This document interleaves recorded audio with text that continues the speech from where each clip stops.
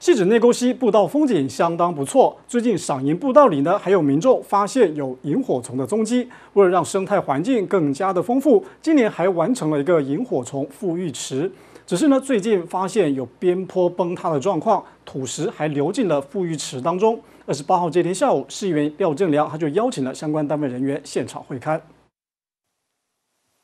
内沟溪靠近彩虹桥，这里从步道入口处走进来，可以衔接到中山里。这几年的萤火虫步道经营有成，陆续都有民众表示，现在已经看得到萤火虫。尤其现在步道旁又新辟了这么一处萤火虫孵育池，生态是越来越好。不过最近却发现边坡有崩塌的情况，里长就担心不处理，情况变严重，实在很可惜。因为地方对于这处富裕池有很深的期待。我们经过跟啊那个我们这个里里面一些热心的职工职工朋友们大家研议哈，我们希望从这边从这个池开始来呼吁萤火虫。那希望说在一年一年以后啊，这个这一个。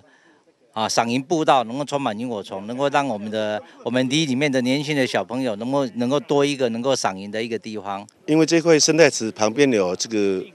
土石流失的这种情形哈，那厘清这土地所有权人之后哈，假如是属于水局的，我们就请我们水局尽快的把做这个旁边做这个护坡的水路保持，才不会有这个崩塌的情形，这块生态池才不会有被呃淹没的情形。接近彩虹桥这一端，原本的小池子，现在初步整理后成了萤火虫孵育池，目前也正在孵育萤火虫及相关的物种。不过土石一直流入池子里也不是办法，所以地方就希望相关单位能够协助改善。里长建议将池底及周边的环境先建立好，再引进适合萤火虫生育环境的物种。我我们希望的是先把这个这个会议池的池底啦，周遭的环境先把它建立好啊，然后我们会陆续引啊引进适合萤火虫啊生育环境的一些物种啊，然后逐步的做。我们预估的时程是在一大概一年的时间，能够能够让萤火虫形成它们的聚落啊，成为这么一个很漂亮的一个步道。